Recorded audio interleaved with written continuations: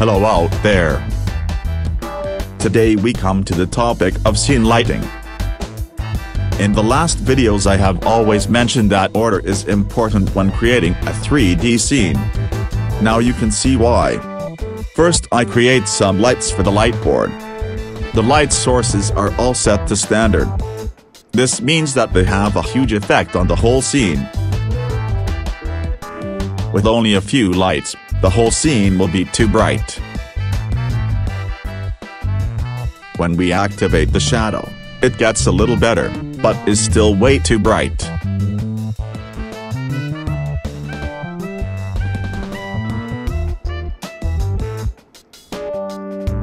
That's why I assign the lights of the illuminated signs to the building they are attached to.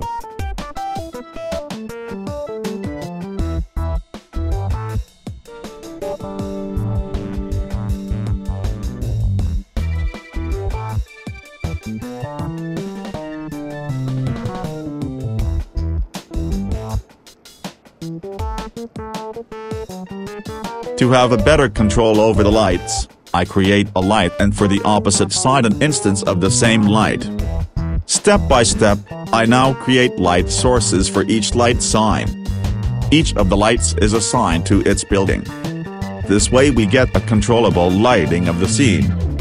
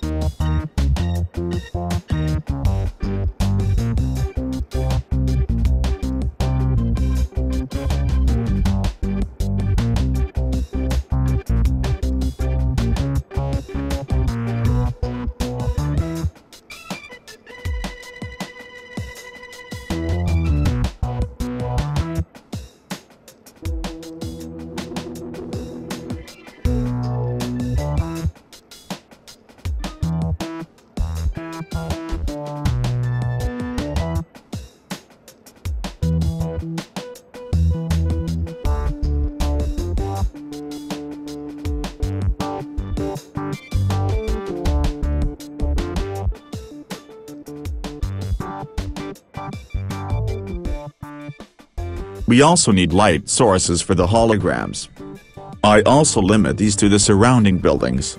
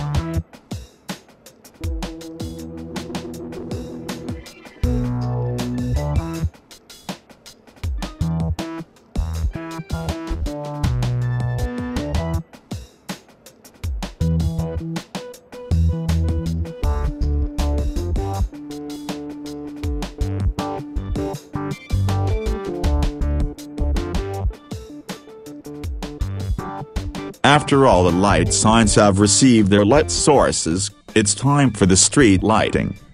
For this we create a single light source. All other lights for the street are an instance of the main light.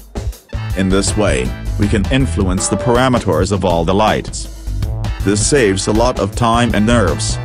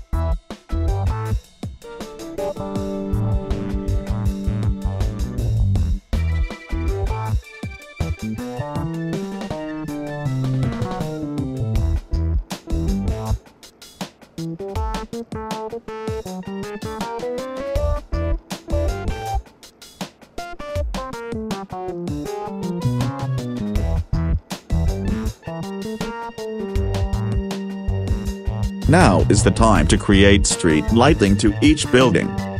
Since we have separated each element, we can now make each object visible step by step and set the light sources. I would like to mention here that we are only creating the main lighting of the scene. When it comes to creating the individual clip scenes, adjustments will be necessary.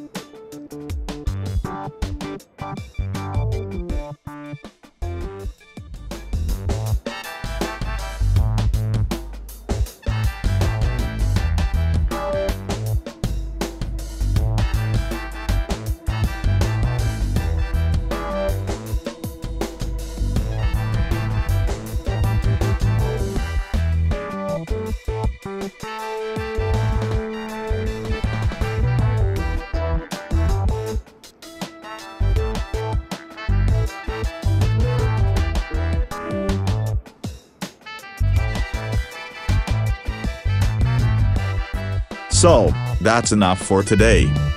All necessary settings are made. Now that the environment is created, it's time to tell a visual story. Until this moment I have only a theoretical idea of my movie. Since the story is not finished yet, in the next chapter, I will deal with exporting the first scenes. I hope I could give you some useful info, and say goodbye.